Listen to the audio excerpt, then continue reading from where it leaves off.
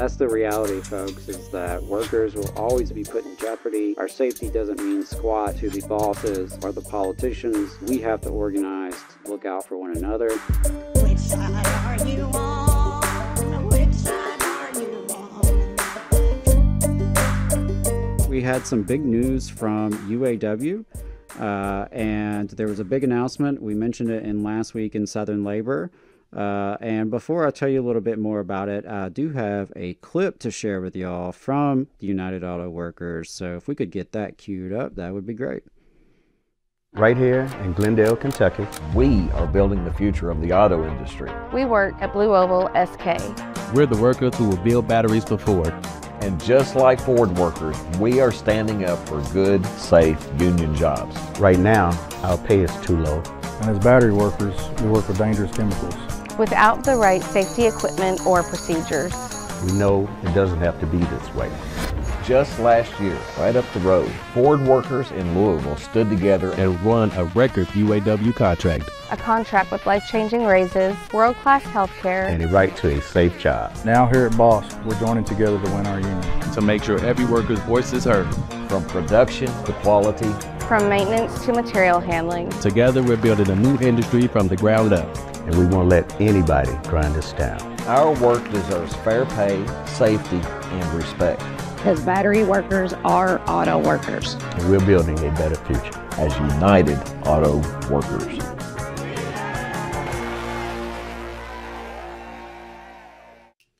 All right, yeah, big, big announcement from UAW here in the South, uh, a little bit north of us, up in Kentucky. Uh, the BOSK workers are building on the victories of UAW battery workers at Ultium Cells in Lordstown, Ohio, and Spring Hill, Tennessee. Ultium is the joint venture that makes batteries for General Motors EV fleet. In June, UAW members at Ultium in Lordstown, Ohio, won a contract with the same strong standards that UAW members have at all General Motors facilities. In September, workers at Ultium's new plant in Spring Hill, Tennessee, formed their union and are now pre- ne- preparing to negotiate their union contract. Because BOSK is currently a non union facility, workers there have pay, benefit, and safety standards much weaker than those of UAW members at Ford.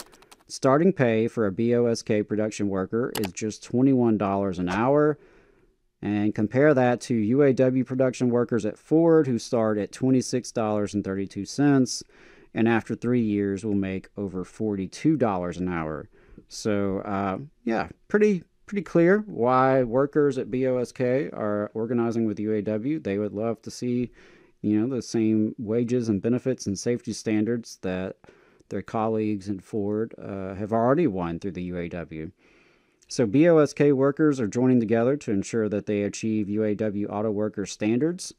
The movement led by BOSK and Ultium workers is setting strong standards for the rapidly expanding EV battery industry. A recent study found that manufacturers have announced nearly 90,000 current or future jobs in the EV battery industry linked to more than $100 billion in investments over the last nine years. So this is a big, big industry, a growing industry, and it's really important that organized labor be there. The growing movement among non union battery workers across the country, and especially in the South, builds off the success of the UAW stand up strike of the Big Three and the victory by Volkswagen workers in Chattanooga, Tennessee, who became the first Southern auto workers outside the Big Three to win their union when they voted to join UAW in April. And I do recommend folks check out the coverage on labor notes uh, of this new campaign. Uh, our friend of the show, Luis Leon, you can check out his article Kentucky Battery Plant Workers Launch Union Drive with UAW. Uh, just to quote here from the article a little bit. The Battery Park, a joint venture between Ford and South Korea's SK On, is expected to ramp up hiring to 5,000 hourly workers by 2030. It has twin battery plants, but the second one is on hold due to low demand for electric vehicles. At the first plant, workers are testing battery module packs from facilities in Georgia as the plant prepares to become fully operational next year. Since he started last year, Chad Johnson has seen coworkers suffer mild heart attacks and respiratory problems, apparently from exposure to chemicals. He has seen workers carried out on stretchers with broken pelvises from tripping on exposed wiring because they are working in what is still an active construction site. The organizing, quote, has moved more quickly than expected, said Johnson, a quality control technician and former UAW Local 3047 member at nearby Ford Supplier. There were originally six of us. That grew to about 15. Now there's an organizing committee of about 70. Hey, five seconds. Just wanted to say that this is only possible because of our donors. If you want to see more of this, then consider donating yourself at tvlr.fm slash donate. Moving on.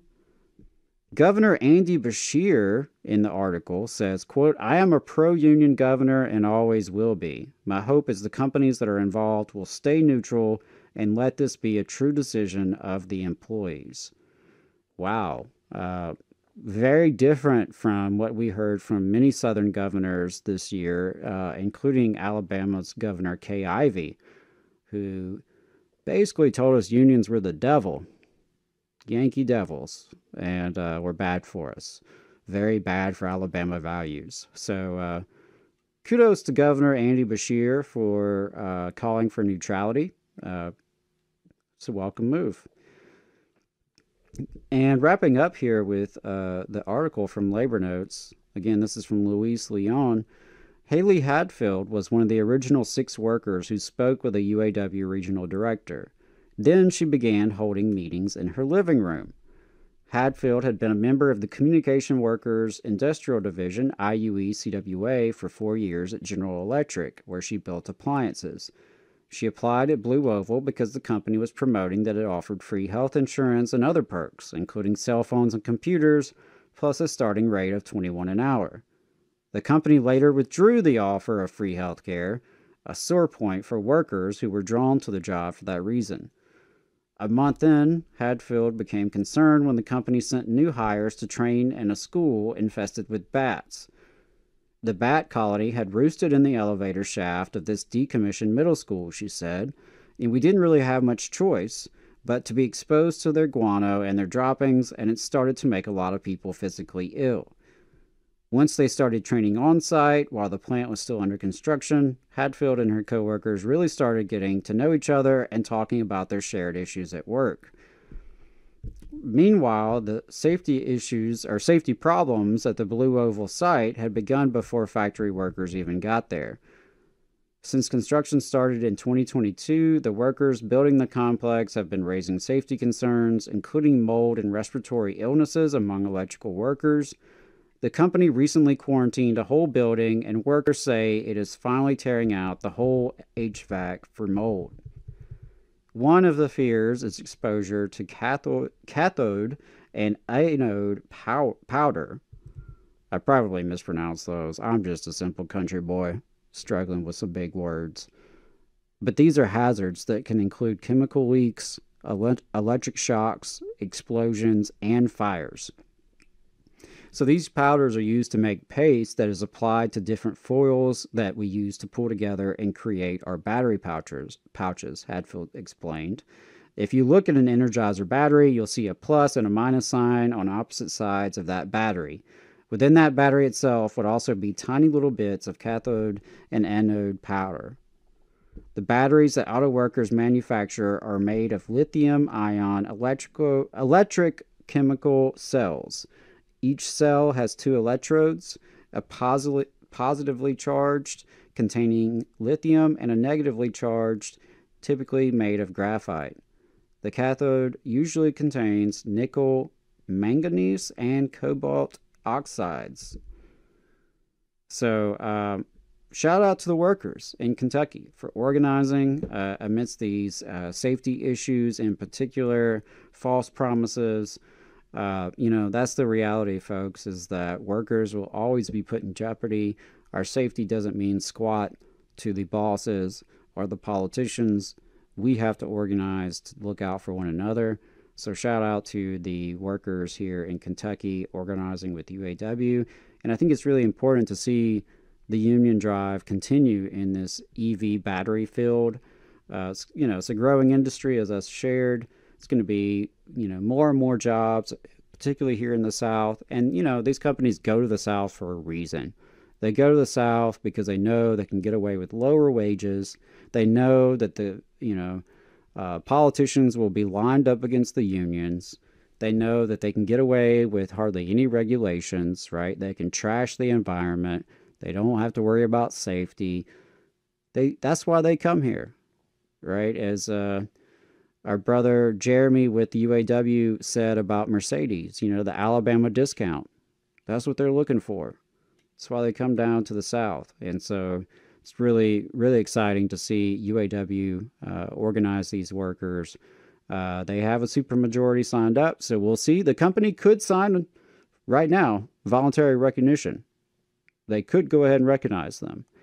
Uh, my guess is they probably won't, and they will probably force this to an NLRB election, uh, which, you know, we'll see what happens. Stay tuned.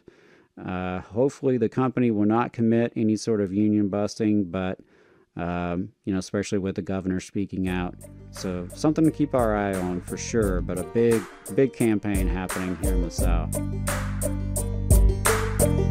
You just saw a clip from the Valley Labor Report. We are live every Saturday morning from 9:30 a.m. till 12:30 p.m. and we pride ourselves on keeping all of our content free to everybody so that we can talk to as many working folks as possible. If you support the work that we're doing, you think that it's important, you think that it's good, then consider making a monthly contribution to the project and you can do that on our website tvlr.fm